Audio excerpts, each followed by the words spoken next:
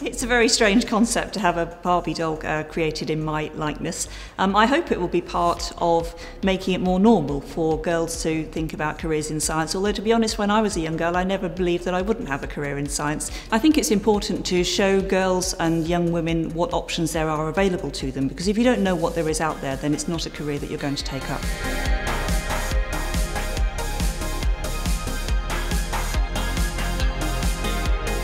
Well, I hope that uh, my Barbie doll, as well as others of women who work in science and medicine, will just keep reminding them that there are many careers open to them. So when they're playing, they're also thinking about what they might like to do in the future.